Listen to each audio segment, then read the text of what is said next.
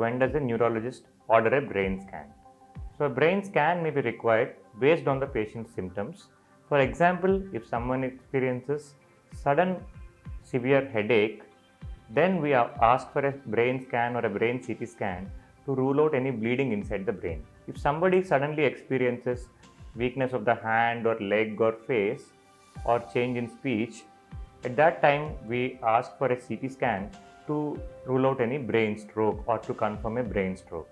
Similarly, if there is a loss of consciousness, if somebody becomes unconscious, somebody has a major fall or a head injury, to identify if there is any bleeding because of the fall or to identify the cause of fall or unconsciousness, we may ask for a CT scan or an MRI. So, these are the various common conditions in which a CT scan or an MRI may be ordered by the neurologist.